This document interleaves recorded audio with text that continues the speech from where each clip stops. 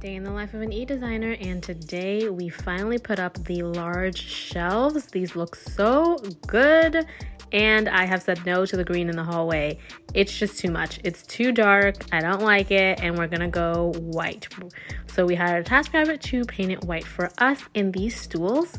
I was so nervous because they had no reviews on Amazon, but they're velvet, they're beautiful, they're comfortable. They're a little too tall, but we're gonna get the right size, don't you worry. I then went that day and measured for the headboard. Oh, the rendering is gonna look like this. It's gonna be really tall, olive green, velvet, just like the bar stools.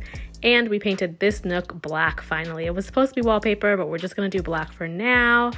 I lit up the shelves and this is where we ended the day. The white looks so much better. So much better, very refreshing. And the shelves are gonna make such a good Zoom background when they are styled.